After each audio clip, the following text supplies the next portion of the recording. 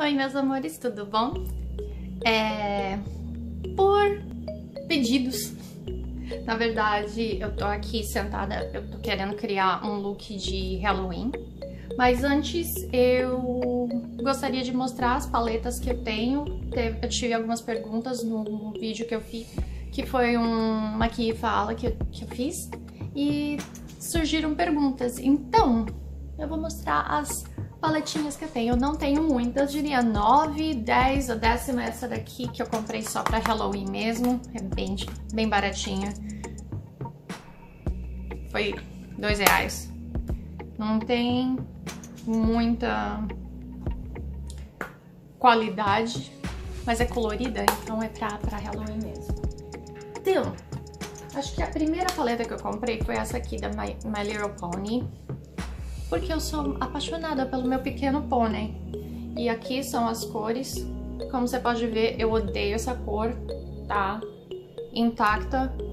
Essa cor tá intacta. E essa cor eu usei uma vez.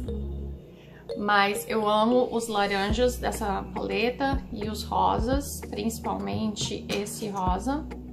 O manteiguinho é bom, esse é bem brancão, é bem, é bem legal. E o roxinho também é bem bonitinho, mas essa foi minha primeirinha paleta. Depois dessa, eu comprei três paletas da BH Cosmetics, que foi essa aqui, Marble Collection. E, como vocês podem ver, eu amo essa sombra que chama Cinnamon. Não sei o nome das outras porque infelizmente joguei a caixinha fora. Mas essa aqui são bem, bastante neutrinhos. Então tem os, os marronzinhos, eu uso bastante esse, esse. O laranja eu uso bastante. Vocês podem ver que eu gosto de laranja, né? Os rosinhas eu uso bastante.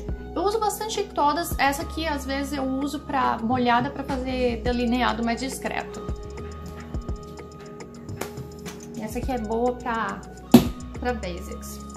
Aí eu comprei a Glam, Glam Reflection da B, BH.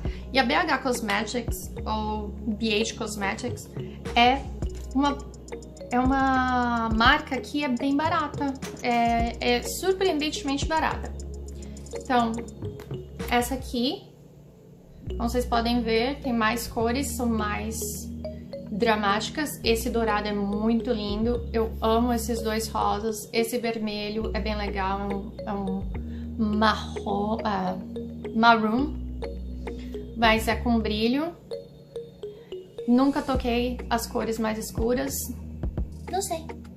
Mas são lindas. Nunca usei essa cor. Que é tipo um, um dourado meio esverdeado. Mas é uma, é uma paleta bem legal também.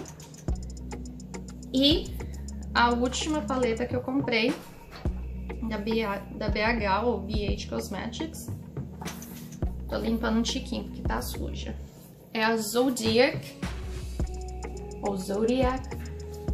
E tem as cores e já vem com as combinaçõezinhas. Então, do meu signo é o rosinha, o rosinha e aí faz o ponto de luz no iluminador. E aqui no centro é um iluminador grandão.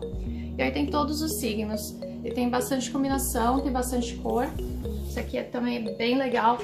E a qualidade da BH, ou BH Cosmetics, é muito, muito doida. E eu menti, eu comprei quatro da BH. Tem essa também, da, da Carly Bible. Essa aqui é bem nudes, neutros, vem com bastante iluminador aqui na parte de baixo. Esse aqui é muito escuro pra mim, isso aqui é muito escuro pra mim. Eu posso usar bastante esses dois. Esses dois também. Mas aqui em cima, como você pode ver, bem basiquinhos, bem nudes, bem neutros. Daí, eu fiquei apaixonada por essa paletinha que eu vi online na, no site da Colourpop, que também é uma marca super, super maja, mara, super maravilhosa, super incrível, baratinha. E Olha as cores dessa maldita. Olha as cores. Vocês podem ver, eu uso bastante essa aqui, que é a Earthshine. Tem os roxos, tem... Esse aqui é um... Eu não sei te explicar essa cor. É um roxo. Mas é um roxo... Ai, é linda, é linda, é linda, é linda, é linda, é linda. Essa paleta é linda. Eu amo uh, Pretty Cruel, bem cruel. Earthshine, Fanfiction. Essas três são as minhas favoritas dessa paleta, mas essa paleta é uma gracinha. Não uso muito porque... Olha a pigmentação dessa virosca, né? Deixa eu até tirar aqui um pouquinho. Não vai sair, porque eu não tô com demaquilante aqui. Olha, tô manchada. Aí, depois dessa, eu comprei a primeira paleta que eu me arrependi. Primeira paleta da Morphe. E foi mais cara, é mais cara do que qualquer outra paleta que eu tenha comprado antes.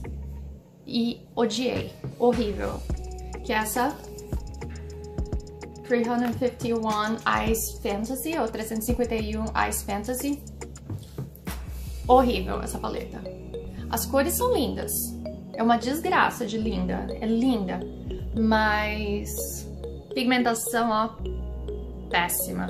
Odeio a pigmentação, odeio a textura, não, não vale a pena. Se vocês estiverem namorando essa paleta, não vale a pena. E aí, minha última aquisição foram essas duas paletinhas também da Colourpop, Sailor Moon. Essa aqui é a caixinha, esse eu não tive coragem de jogar fora a caixinha e In a Trance, que também está na caixinha. E aqui a da Sailor Moon, isso aqui muda. Olha que bonitinha. Ah, muito bonitinha. E aqui são as cores. Muito linda, muito Sailor Moon é linda. Essa paleta é a coisa mais linda do mundo. E super pigmentada, pigmentação ótima, super compensa. Quando eles lançam essa paleta no site, tem que estar, tá, você tem que estar tá no site esperando pela paleta, porque a paleta ela desaparece.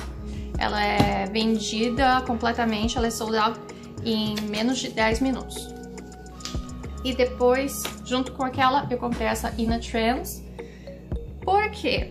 Porque eu tava muito desapontada com aquela paleta da Morphe, então eu comprei uma versão pequenininha de cores pastéis e azulzinhas e rosinhas e um roxinho. E essa aqui sim tem pigmentação. A pigmentação dessa paleta é muito melhor que a, paleta da Morphe.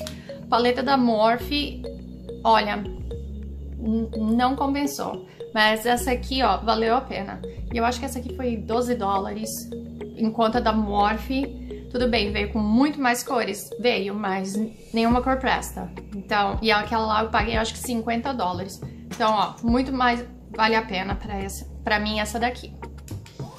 E amores, é isso de paleta que eu tenho. Vocês podem ver, eu não tenho muitas. Mas eu se divirto com as paletas que eu tenho. Amo muito as minhas paletas e se vocês puderem conferir os sites da Colourpop e da BH Cosmetics, super vale a pena. Esses são incríveis. Gente, é isso. Uma beijoca. Até mais.